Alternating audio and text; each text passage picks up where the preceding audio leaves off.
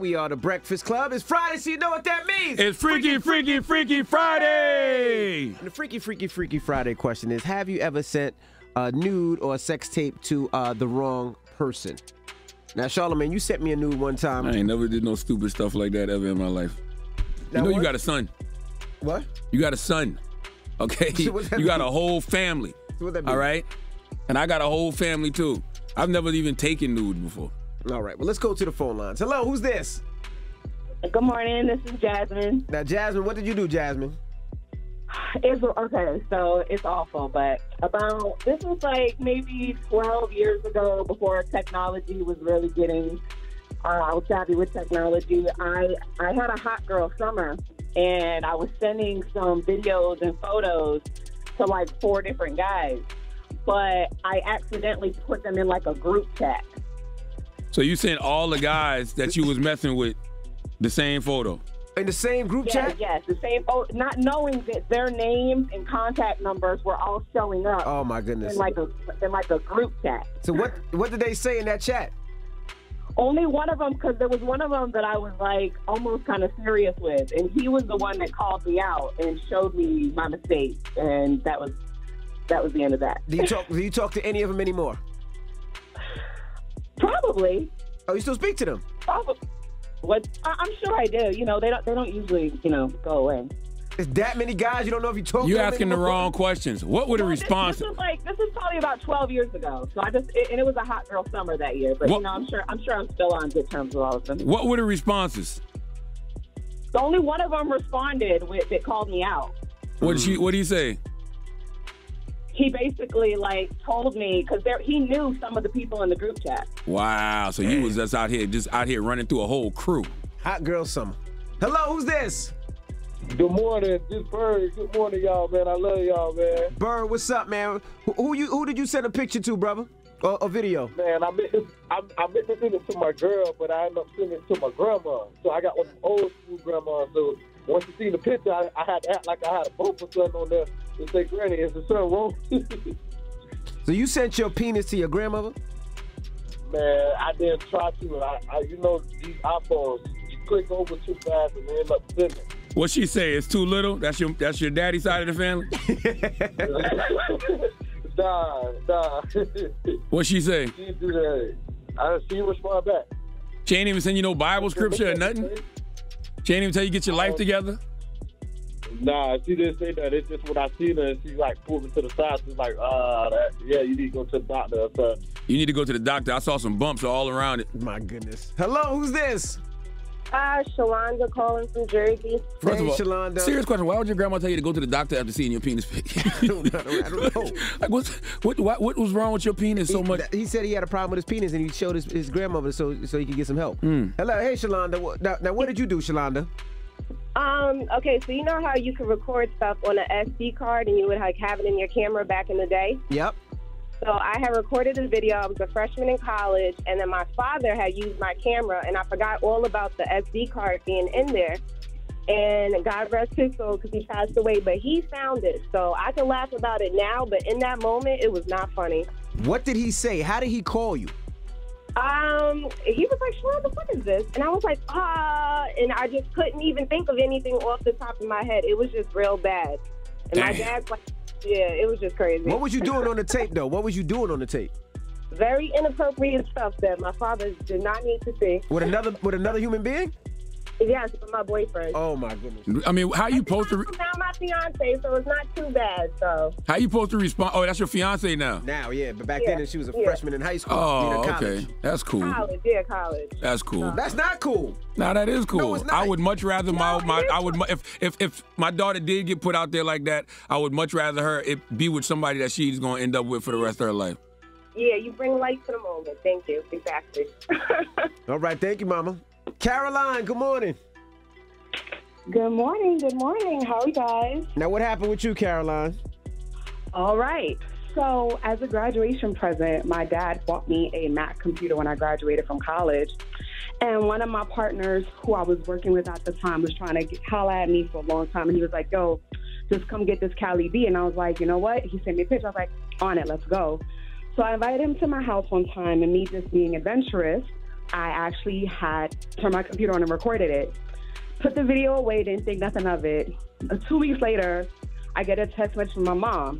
Oh, so you think you're effing porn star now? And I was like, wait, what's she talking about? I saw the video. I was like, Woo! and then she was like, well, your father also saw it. I'm like, ooh. So I lo- I walked home that night a little bit slower than I normally did, and by the time I got there, she was like, hmm. That's what you be doing with this computer. It's supposed to be graduation present. How dare you? Da da da da da. But eventually, she got over it. But it did make it into the chapter of my memoir about my being an exhibitionist because it was confirmed in that moment. I can I ask you a question? I do really want to know this. Why do people feel the need to record these acts? Well, I would say I was smaller and I looked good. Like I looked fabulous. I think back to now, like I wish I knew how good I look compared to what I look like now. And I was like, my body the angles. Be right kind to yourself. Be kind to yourself. Be kind to yourself. Be kind to yourself. You're not being kind to yourself. She's being honest. No, she's not. She's being mean to herself. That's not. Uh, you- that's not honest. I, I still love myself, but it was just a little bit more, mwah. you know, just a little bit more. How much you weigh now? Oh, I'm 220, How tall are you? 5'4". What you say now? Hold on. What you say now, Solomon? I'm not saying anything. I think that you I know. know what he's saying. It's I'm not okay. saying nothing. I'm. I, I'm not Thank saying Mama. nothing. I'm. Tell, there's somebody out there that will love you. Okay. Oh, I know. All right. You have, you have a good one. it don't matter that you built like Trader Truth's bump box. what? Yeah, I hate you, man. I didn't want to say that. I know. Yes, you did. Forgive yes, me, you did. You God. wanted I didn't- I did not wanna say that. I did didn't, wanna- didn't expect five, four, two. I didn't want to say that.